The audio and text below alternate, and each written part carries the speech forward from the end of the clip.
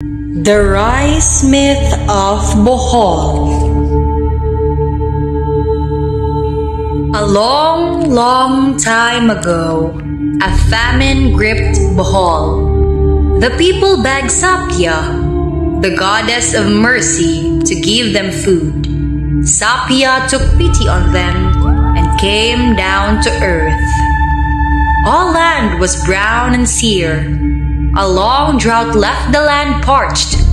Only the most hardy weeds survived the long, rainless months, and already people were dying of hunger. Her heart welling with compassion, Sapia bared her bosom and squeezed a drop of milk into each barren ear of the weeds. She emptied one breast other. But alas, there were still a few more weeds with empty ears. She implored heaven to give her more milk, but when she pressed her breast again, blood and not milk dropped into the remaining sterile ears. Having given her all to the plants, she bent low and whispered,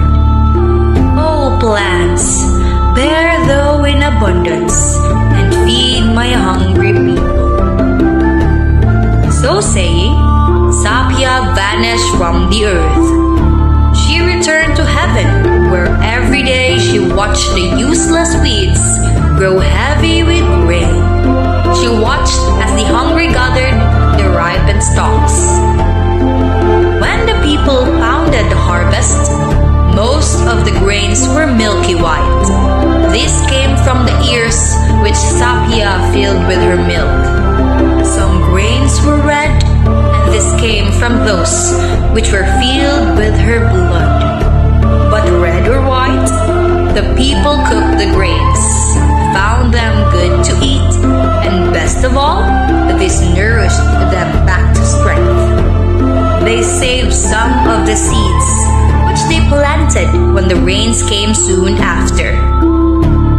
The seeds gave a bountiful harvest as the first home Sapia rejoiced with the people.